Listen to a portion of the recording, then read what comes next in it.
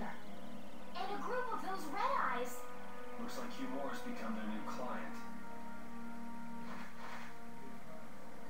Hey, do you think that guy who talks all funny could be the red eyes boss? It sure looks that way from here.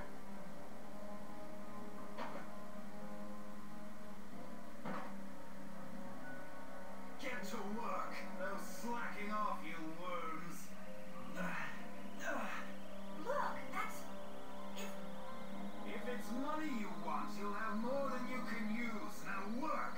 Work! Wait!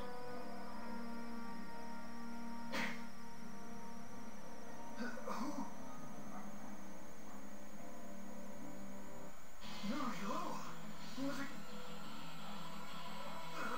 Princess. You have